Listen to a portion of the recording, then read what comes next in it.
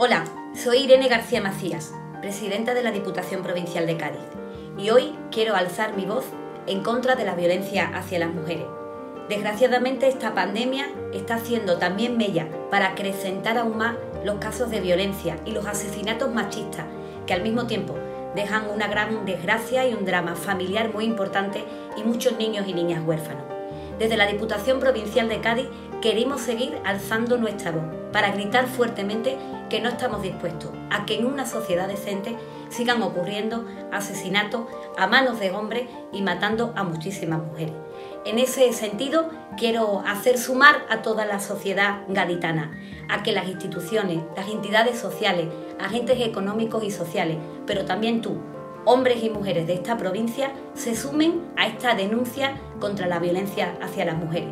Los tiempos cambian, pero desgraciadamente el machismo continúa. Por eso te pedimos que reflexiones. ¿Y tú has sido capaz también de cambiar?